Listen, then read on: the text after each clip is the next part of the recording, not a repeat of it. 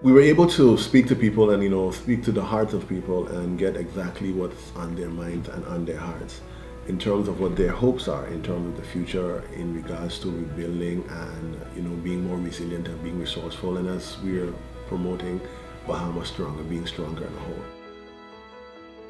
I've been doing it for 24 years and I don't I don't profess to be uh, an expert at anything. I think I'm a student of, of the world in terms of learning. I, I prefer to, I want to have a desire to learn and evolve and grow every single day. This trip I've evolved and I've, I've grown. I remember speaking to this lady Tammy over on Guana Cay and I remember like looking at her smiling and having learned at least a half a dozen things from just talking to her. In my professional opinion, Aerial Recovery Group is being a paradigm shifter in terms of the way how we do things in the Caribbean as it pertains to disaster, the mitigation, the response, the recovery, and the rebuilding.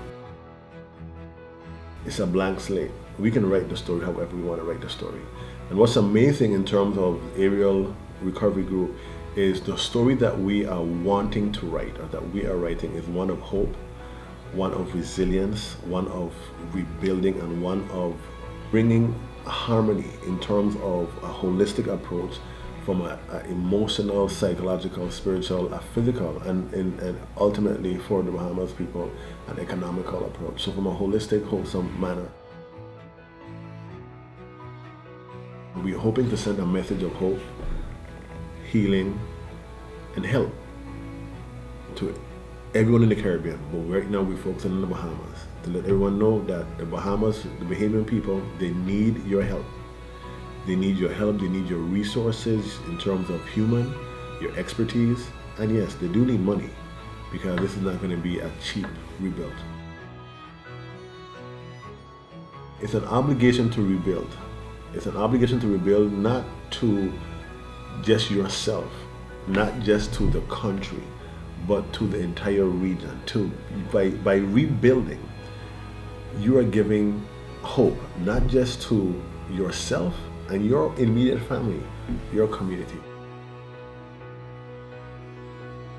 You can either be a host to humanity, a host to hope, a host to healing, a host to help, or you can be a host to ego.